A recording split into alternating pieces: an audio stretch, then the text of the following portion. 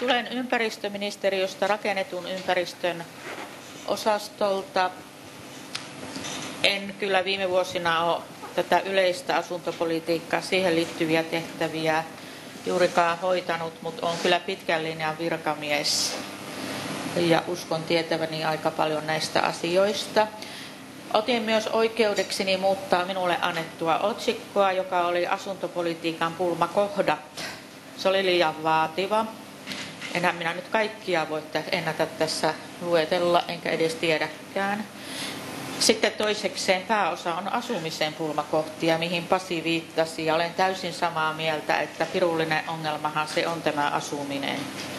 Puhun teille asumistilanteesta Suomessa eri puolella Suomea, asumisen hinnasta, vuokrista ja omistusasumisen hinnasta, totta kai sitten asuntopolitiikasta, valtion asuntopolitiikasta, hiukan, että minkälaista tukea on saatavilla. Ja pakko puhua muutama sana asumistuesta, mutta itse asiassa nostanut vähän vaan sitä tematiikkaa esille. Ja sitten meillä on seuraavissa alustuksissa tulee enemmän. Tässä on se ehkä se keskeisin kysymys, minkä takia se on pitkälle vintage problem, tämä asuminen. Kaupungistuminen Suomessa, milloin lie alkanut, on koko ajan ollut 50-luvulta vahvasti, vahvasti toteutunut ja edelleen toteutuu. Vaikka mitä tehtäisiin, on globaali kysymys ja, ja, ja asunto kaupungistuminen jatkuu. Tässä on tuon tilastokeskuksen VTTn tekemästä raportista kaksi, kaksi ennustetta kaupungistumisen osalta. Ja on konservatiivinen väestöennuste ja sitten toinen, mitä he kutsuvat nimellä kaupungistuminen. Ja siinä näette noita prosenttiosuuksia, miten paljon väestö näiden ennusteiden mukaan muuttuisi, väestömäärä muuttuisi näillä alueilla vuosina 2015-2040. Ja tuossa konservatiivisessa ennusteessa niin sen oletus on, että talouskehitys on heikompaa kuin mitä se on ollut viimeisen kymmenen vuoden aikana. Sitten siitä johtuu, että muuttoliike tulee olemaan hitaampaa ja kaupunkiseudut eivät niin vedä, vedä kuin mitä on tähän asti vetänyt. Ja sitten tämä kaupungistuminen on suurin piirtein se, että mitä, minkälainen on tilanne ollut 14 suurimmalla kaupunkiseudulla viime vuosina, viimeisenä 15 vuotena. Eli yhteenvetona tuosta voi sanoa, että joka tapauksessa, vaikka taloudellinen tilanne olisi huono ja eikä vetäisi väkeä kaupunkiseudulle työllisyyttä, työ, tilaisuuksia ei olisi niin paljon, niin silti kaupungistuminen olisi vahvaa. Mutta nythän meillä onneksi alkaa vähän paremmin mennä, niin työvoimaa tulee kasvukeskuksiin ja eritoten pääkaupunkiseudulle. Siinä VTTn asunnon tarve, se olikin asunnon tarveennuste viime vuonna julkaistiin, niin siinä tehtiin näitä skenaarioita tuo edellisen oletuksen pohjalta. Ja tuosta nyt näette sitä kuvaa. Eli tuo kaupungistumiskenaario oli se suurin piirtein samanlainen tilanne jatkuu. Ja näyttää todella vahvalta tämän 14 kaupunkiseudun tilanne, että miten, miten paljon tarvitaan asumista. En käy näitä lukuja läpi, koska saatte nämä esitykset ja se ei ole tärkeää, vaan tämä ilmiö. Ja sitten sitten mentiin väärään suuntaan, sitten mennään oikeaan suuntiin. Ei, kun oli samantapainen. Joo, anteeksi, itse sekoilin tässä.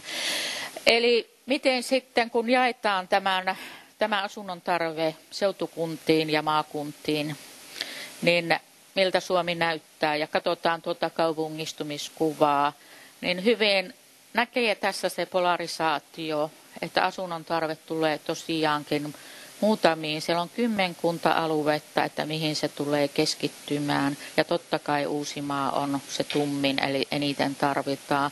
Mutta sitten on nämä suurimmat kaupunkiseudut. Molemmissa toisessa enemmän kuin toisessa. Jonkun verran puhun tästä asuntotilanteesta, että minkä tyyp- hallintamuodoista ja asuntotyypeistä. Ja tähän kuvaan on täpätty sitten viime kymmenen vuoden kehitys, mitä on rakennettu, minkälaisia asuntoja. Ja näette, että kerrostaloasuminen, kerrostaloasuntoja rakennetaan enemmän ja enemmän. Ja tämä perinteinen Suomessa pitkään aika vahvanakin ollut omakotitalorakentaminen vähenee. Siinä on varmaan monta syytä, mutta isoin tietenkin, että kasvukeskuksissa näitä asuntoja rakennetaan, niin silloin se on kerrostaloasuminen yhä suositumpaa. Sitten siinä on niitä lukuja. Viime vuonna, nyt pitää kyllä aralaisilta kysyä, oliko se 30, mitä, mikä se oli se asuntotuotanto viime vuonna, 35 000 36 000. Tänä vuonna arvioidaan, että 37 000 ja ensi vuodelle, taisin pari päivää sitten näin se jonkun ennusteet, noin 35 000. Se on paljon, kun on pitkään ollut sitä 30 000 ja allekin tuossa tietenkin näette tuon 2010 edeltävän kauden, niin, niin oli hikisesti ei ollut edes 20 000 asuntoa, mutta se, se on keikkunut siinä 30 000 molemmin puolin, että on rakennettu ja rakennetaan paljon. Ja se tulee kyllä pääkaupunkiseudulle pitkä. Tässä on asuntotyypeistä tuo toinen ympyrä, kerrostalojen osuus nykyisistä asunnoista, joita on lähes kolme miljoonaa, on 45 prosenttia, pientalojen 39 ja sitten siinä välissä on noin rivitalot, ketjutalot ja muut rakennukset. Kaksi kolmasosaa kannasta on rakennettu vuoden 70 jälkeen, mikä tarkoittaa sitä, että suuri, silloin rakennettiin tosi paljon 70-luvulla, 80-luvulla, niin peruskorjaustarve on suuri.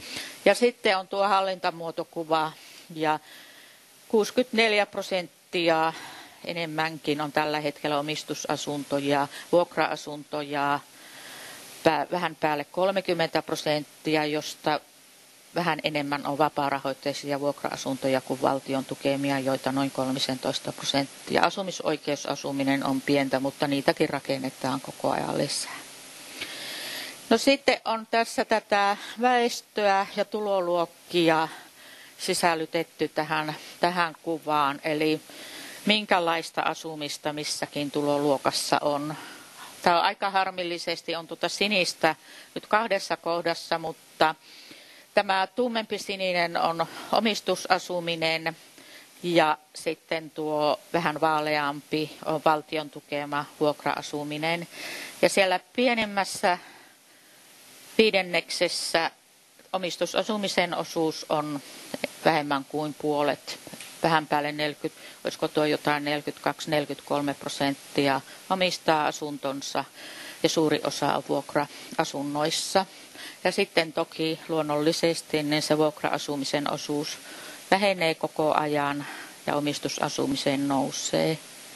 Ja valtion tukemat asunnot ovat merkittäviä, niiden osuus on merkittävä pienituloisilla niin kuin tietenkin tar- tarkoitus on ja asunto, valtioasuntopolitiikan tarkoitus tarjota hyvää asumista kohtuuhintaa ja sitten se kohtuuhintaa on se ongelma, se suuri ongelma, on se tarjontakin ylipäänsä, mutta se kohtuuhinta. Ja nyt vähän puhutaan siitä, en ala kyllä määritellä sitä, itse kukin joutuu aina määrittelemään, mutta onneksi minun tehtävänä ei ole sitä määritellä. Mutta tässä on nyt katsottu sitä, mihin Pasikin viittasi tuossa yhdessä kohdassa hänen alustuksessaan, eli asuntokunnan asumismenojen osuus suhteessa käytettävissä oleviin tuloihin. Ja tuota, on koko, tässä on koko Suomen osuus ja pääkaupunkiseudun. Ja näette, että koko Suomenkin tuo pääkaupunkiseutu nostaa tätä koko seudun seudun pylvästä, niin tuo vapaarahoitteisen vuokra-asumisen osuuden tuossa alimmassa viidenneksessä, että se on korkea. Pääkaupunkiseudulla niin puolet tuloista menee sinne vuokraan vapaarahoitteisessa, eli siinä sitä ongelmaa onkin. Sitten luonnollisesti noiden tulojen kasvaessa niin se pienenee se osuus, kun on enemmän tuloja.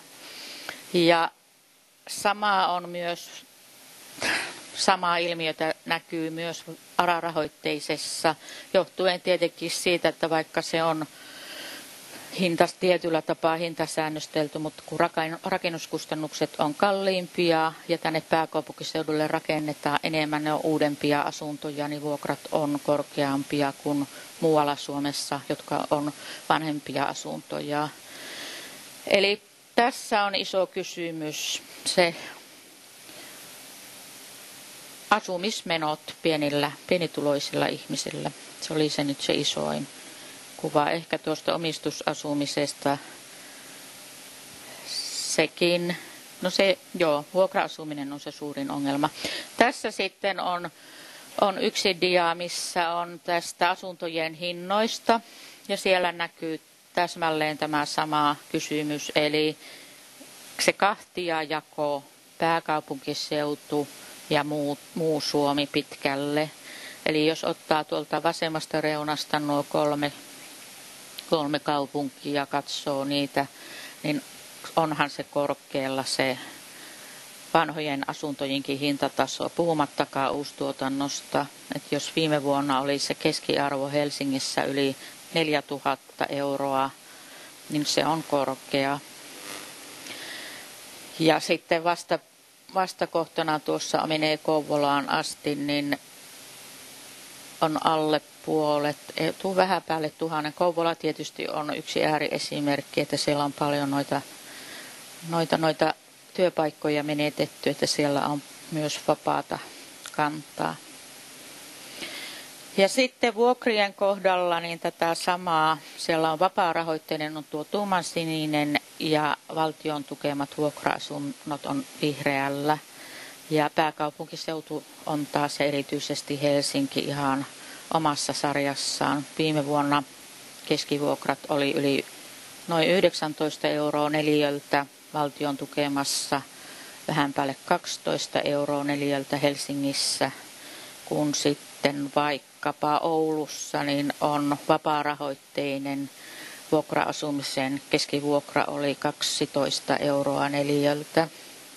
Ja sitten siihen on tähän samaan myös näiden kaupunkien koon mukaan tätä samaa kuvattu. Eli suurimmissa kaupungeissa, yli 100 000 asukkaan kaupungeissa siinä on kuvattu, niin tietenkin on kalliimpaa, koska siellä on paljon kysyntää, koska siellä on paljon enemmän työpaikkoja kuin muualla. Nyt yksinkertaistin paljon, mutta perimmäinen iso kysymys on tämä.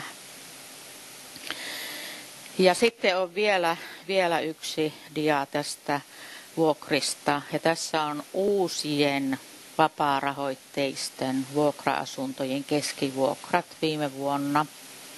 Eli uustuotanto.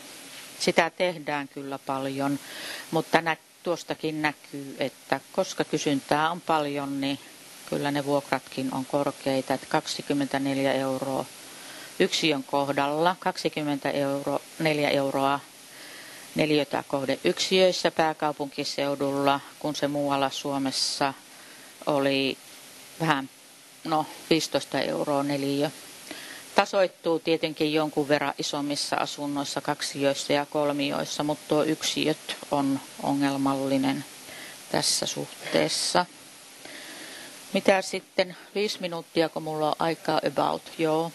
Mitä sitten valtio tekee, millaista asuntopolitiikkaa, niin oikeastaan lyhyesti sanottuna, niin mitä Pasi sanoi, että ei ole yhtä keinoa eikä kahtakaan, että se on kokoelma. No toki lainsäädännöllä vaikutetaan määräyksillä, rakentamismääräyksillä ja vastaavilla, mutta nämä tuet, jos sieltä katsotte sitä tuet, ylipäänsä valtion tuet, myös tämä mm, verotuki, niin siellä on monenlaista. Että meillähän tuetaan omistus- ja vuokra-asumista. On tuotantotukea ja kysyntätukea, eli asumistuet siellä kysyntätuessa. No sitten valtion tukemassa asumisessa meillä on korkotuki. Tuossa on käytetty sanaa korkotukilainoitus, mutta korkotukilainalle, takaukset ja avustukset. Ja sitten taas siellä VM puolelta tulee nämä verotuet, STM puolelta asumisen tuet, joita on vielä kolme. Ja sitten kesällä loppuu yksi, eli on kaksi asumistukijärjestelmää. Ja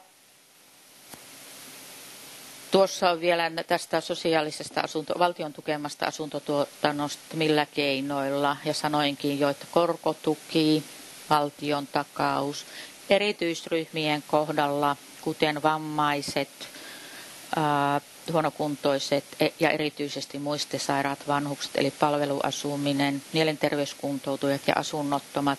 Valtio antaa suoraa investointiavustusta. Saattaa olla jopa 50 prosenttia hankkeen hyväksytyistä kustannuksista. Korjausavustukset on myös käytössä olemassa olevalle kannalle ja huomasin tuossa tullessani, että minulta puuttuu siellä tuo kunnallistekniikka-avustus ja käynnistysavustus, eli kunnille maankäyttö, asuminen, liikenne, MAL sopimuskunnissa, niin kunnille annetaan niin sanottua kunnallistekniikka-avustusta tiettyyn tarkoitukseen. Enintään 30 prosenttia kustannuksista oli esimerkiksi puistojen, puistojen rakentamista ja muuta. Ja sitten se käynnistysavustus on Helsingin seudulle. 10 000 euroa per asunto niin saa, saa toteuttajat valtion tukemaan vuokra-asumiseen, asuntokohteeseen, niin saa niin sanottua käynnistysavustusta. Ja siellä on rajoituksia ja tuossa näette, en käy niitä läpi, mutta näette, että toki valtion tukemalle tuotannolle on rajoituksia ja tukeekin, tuleekin olla, että ei se nyt ihan vilja ja vapaatakaan pidä olla. Ähm, joo, se oli siinä viimeisessä diassa, mitä menisi jo sanoa. Tässä on asumis, asumisen tukien kehitys. On englanniksi lainasin työkaveriltani näitä dioja, niin on, näkee sen, että miten tuo asumistukien kehitys on pompsahtanut. Sitten taas tämä korkotuki, kun korkotaso on ollut matala, sen osuus on pienentynyt ja muut tuotantotuet, niin näette, että hyvin hyvin sille vakalla tasolla vähäisiä ja vähenee koko ajan. Asumistuesta tullaan puhumaan, puhuttiin jo, ja tämä on Kelan, Kelan dia, dia sitten, että miten on kehittynyt. Eläkkeensaajien asumistuki hieman noussut ja toi opiskelijoiden opintotuen asumislisän, siinä näkyy aina tuo kesävaikutus, niin sekin on jokseenkin pysynyt samalla tasolla. Ja sitten tämä yleinen asumistuki pompsahti.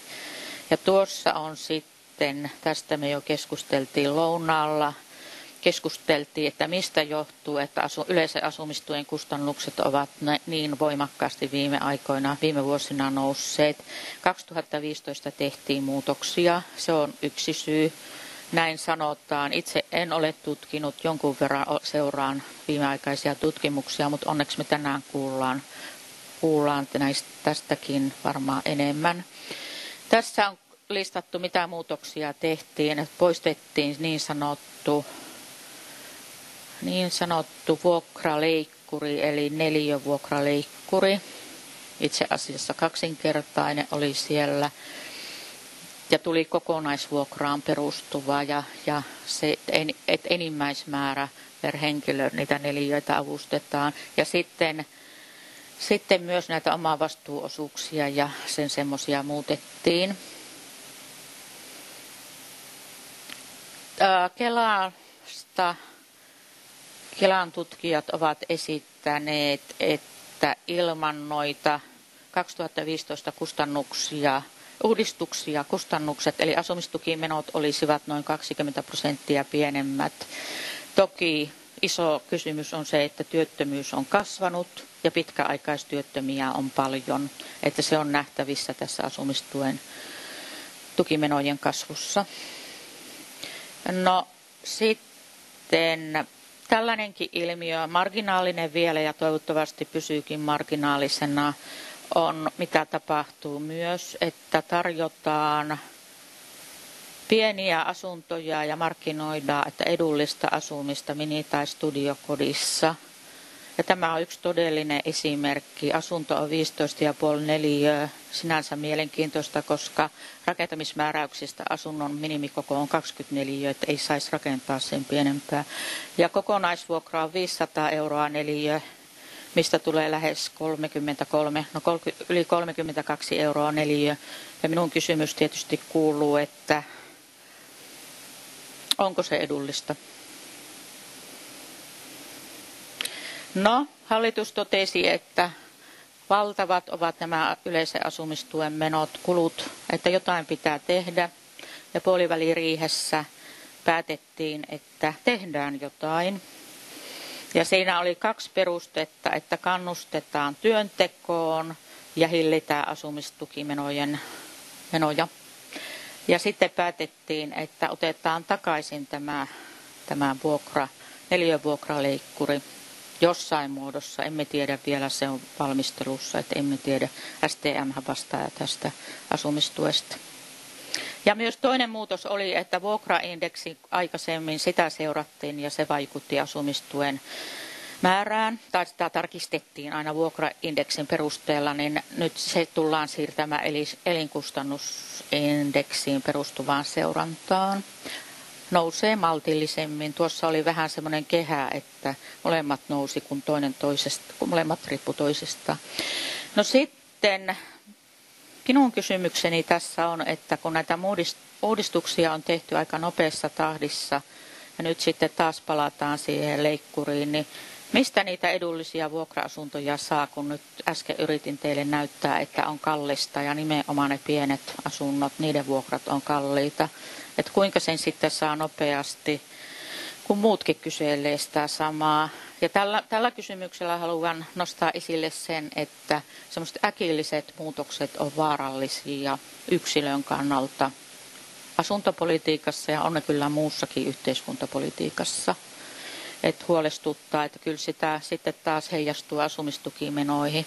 Tämä taitaa ollakin viimeinen mundia, mistä nyt sitten keskustellaan muustakin kuin asumistuesta, niin on tietenkin koko ajan viimeiset ainakin kymmenen vuotta vahvasti on keskusteltu ja on tehty näitä malsopimuksia valtio, pääkaupunkiseudun kuntien kanssa ja myös muiden suurempien kasvu seutujen kanssa, Tampereen, Oulun ja Turun kanssa. Eli valtio antaa tiettyjä asioita, rahoittaa osan vaikka liikenne, uusista liikennejärjestelmistä ja sitten kunnat sitoutuvat tuottamaan asuntoja. Ja se esimerkiksi se käynnistysavustus kohdistui nimenomaan pääkaupunkiseuduun sen takia, että porkkanana pääkaupunkiseudulle tarjotaan. No, alalle on tullut uusia toimijoita ja vuokra-asumiseen, vapaa-rahoitteiseen vuokra-asumiseen investoidaan, koska kysyntä on suurta. Sitten samaan aikaan käydään tätä normin purkua myös asuntolainsäädännössä, eli näitä tuen ehtoja koskien, että paljon tehdään. Ja tuli tämä 10 vuoden korkotukijärjestelmä, 10 vuoden asuntorahoitusjärjestelmä, mikä vetää hyvin. Siinä on rajoituksia, jonkunlaisia rajoituksia 10 vuotta ja sen jälkeen se on, ei mitään rajoituksia ole niille. Ja se, siihen on kiinnostusta. Ja myös sitä pitkää korkotukijärjestelmää tullaan uudistamaan. Siinäpä se oli. No niin, jatketaan sitten vain suoraan eteenpäin.